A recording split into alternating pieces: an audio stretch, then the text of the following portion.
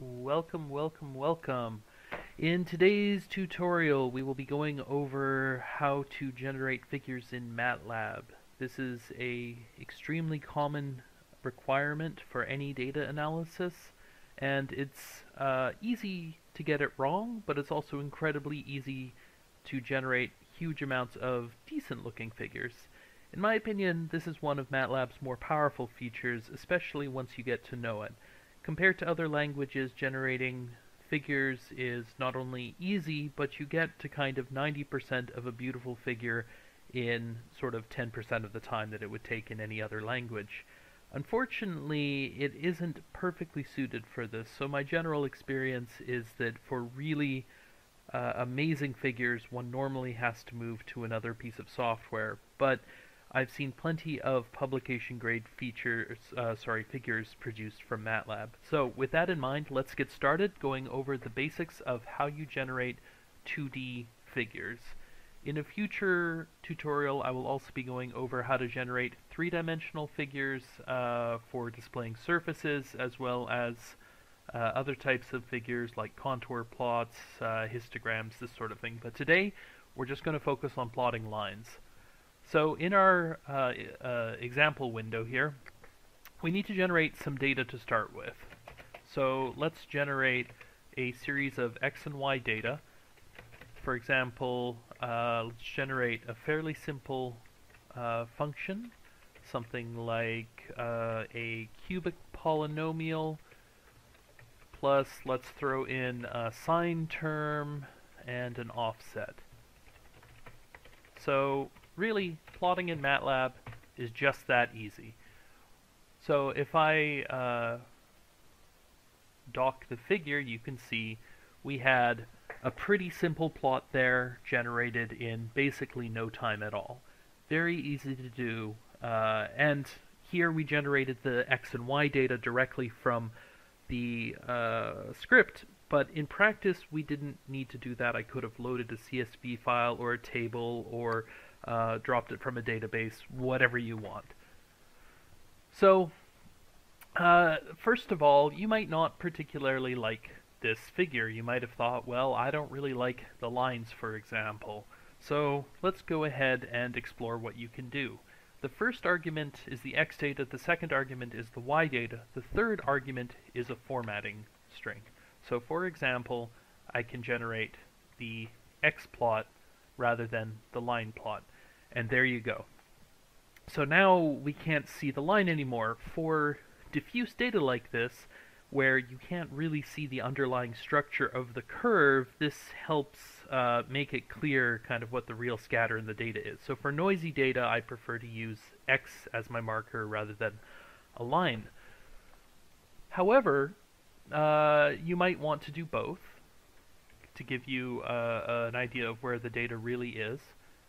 So in this case, we can uh, have both a line and a marker. Maybe you don't like x's. In practice, if you check out the help plot, you'll see that there's a lot of different options available. And conveniently, it's right at the end of the help description. Or actually, no, it's not. It's about halfway through. So this is a summary of all of the different types of uh, formatting parameters. So you see here we're using uh, a solid line with an X mark, but I could just as easily go to, for example, a dashed line with an O marker, and just for fun, let's make it a magenta plot. And now you can see that we've got much more uh, variety available in our data. So uh, this is all fairly straightforward to do. Uh, one of the complexities in MATLAB with figures is when you want to display more than one piece of information at once on the curve. So for example, let's say I had a second data set, one given by the variables x2 and y2. So let's uh, again give ourselves a simple function to work with. For example, this time uh, still using a cubic function, uh, so cubic plus a cosine with a different period than we had before. And now, if I try plotting x2 and y2, I get a crash because I am bad at typing. Nope, still not there. Should be like that maybe. Where did I make a mistake? Oh, should be x2. There we go. So I've got my uh, new plot here, uh, visible on screen, and uh, it's a nice curve. You'll notice I've got more data points on it, so it's much smoother. But what if I want to display both on screen at the main at the same time? You might have thought, for example, that something like this would work. But you'll notice only one curve is visible at once if I do that. So it seems like only the red curve showed up in my figure, whereas the purple curve is missing. So what's actually happened is uh, only the latest plot is displayed. The plot function actually overwrites the axes on the figure and in doing so erases the previous one. In order to display both at the same time, we have to use the hold command. So here I'm going to turn the hold on. When I hold on, it will ensure that the figure keeps all of the axes of each plot and doesn't overwrite the data. So if I run this, you can see now I get both graphs simultaneously displayed. So this is how we display more than one piece of information on screen at once. Now that we have these two pieces of information, we might want to add some extra bells and whistles to this plot. I would say that most plots in MATLAB, if you just look at the default view, are pretty ugly actually. So what can we do to make this figure nicer? Well, the first thing I might do is add a legend.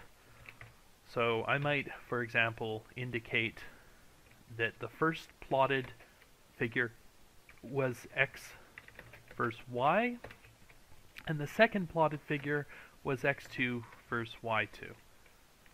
And here I'm using a cell array in order to give legend uh, multiple inputs. So if we generate this, you see now I have an x versus y and an x2 versus y2 label, and because I use the same order in Legend that I plotted them in, it correctly figures out, okay, the red one is x2 and the purple one is x.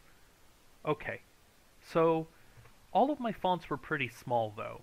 So the next thing we might want to do is adjust the font size. Actually, before we adjust the font size, let's put some labels in. So the X label was X or X2 values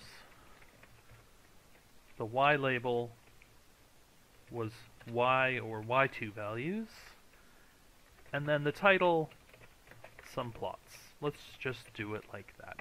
So if we generate our new graph, you see here I've got a title up top, a y-axis label, and an x-axis label.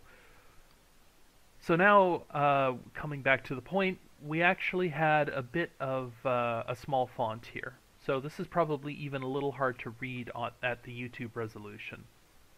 So to fix that, we use a set command, and I'll explain this in a second. Set font size, or set GCA font size 14. So let's take a little look at what this is. What we're doing is we're setting a property of the current axes. So GC, the GCA command stands for get current axes, and it will grab whichever axes of a figure is available at the moment, and then we're going to set the property of that axis called font size to 14. And what this will do is it will change the font size all the way through that figure at the same time. And this should make it much, much more visually appealing.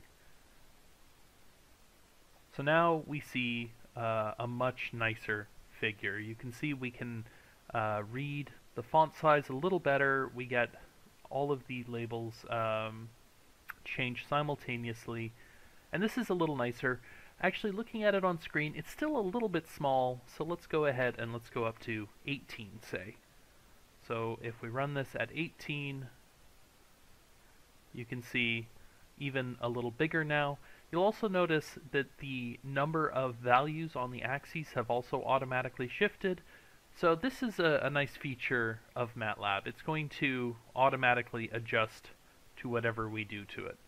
Uh, so the last thing that I think we need to commonly do is make some modifications to these symbols. Now there's a lot of different modifications you make. I'm not going to go through all of them, but one in particular is incredibly useful to remember, and that is a modification of the line width. So the plot commands are uh, quite adjustable.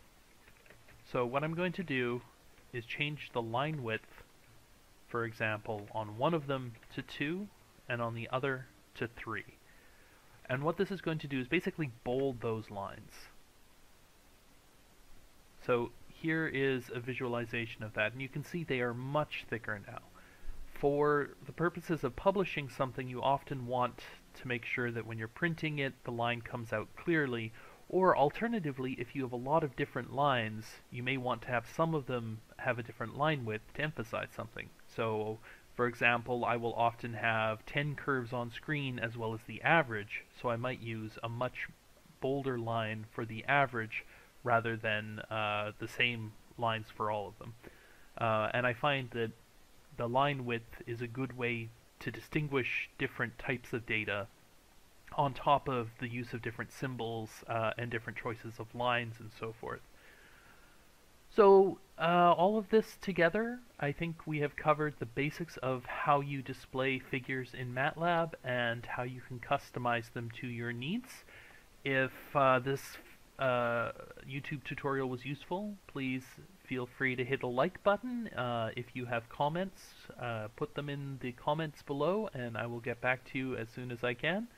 And uh, if you want to see more tutorials like this, please feel free to subscribe, and uh, we should have more of them coming out all the time. Have a good day.